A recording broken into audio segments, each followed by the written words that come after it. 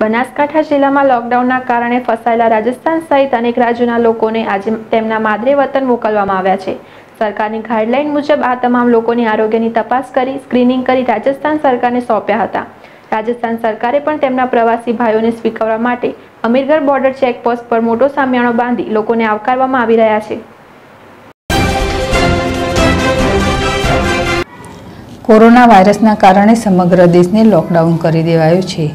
સરકાર દ્વારા લોકડાઉનની જાહેરાત થતાં જ દરેક રાજ્યમાં રહેતા પરપ્રાંતીય લોકો પોતાના માદરી વતન જવા માટે નીકળી પડ્યા હતા. ગુજરાતમાં પણ અલગ અલગ વિસ્તારમાં રહેતા રાજસ્થાની લોકો પોતાના વતન તરફ જવા માટે નીકળ્યા હતા. પરંતુ અમીરગઢ બોર્ડર પર રાજ્યની બોર્ડર સીલ હોવાના કારણે આ તમામ લોકો ક્વોરન્ટાઇન કરવામાં આવ્યા હતા. રાજસ્થાનના અલગ અલગ વિસ્તારના આઠસો લોકોને જિલ્લાની અલગ અલગ બોર્ડર પર જ પકડી ક્વોરન્ટાઇન કરવામાં આવ્યા હતા. ગઈકાલે બનાસકાંઠા અને સિરોહી જિલ્લાના અધિકારીઓએ બેઠક કરી આવા લોકોને તેમના વતન મોકલવા માટેનો પ્લાન તૈયાર કર્યો હતો.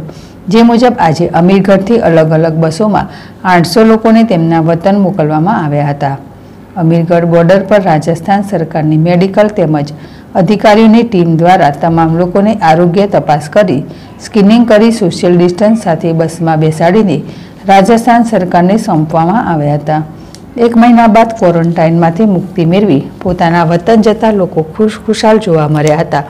લોકડાઉનના કારણે પોતાના વતન તરફ જવા નીકળેલા અને લોકો બોર્ડર પર ફસાઈ જતા સરકારે ક્વોરન્ટાઇન કરાયા હતા. એક મહિના સુધી ક્વોરન્ટાઇનમાં રહ્યા બાદ આજે તેમના ઘરે જતા લોકોના ચહેરા ફરી ખુશખુશાલ જોવા મળ્યા હતા.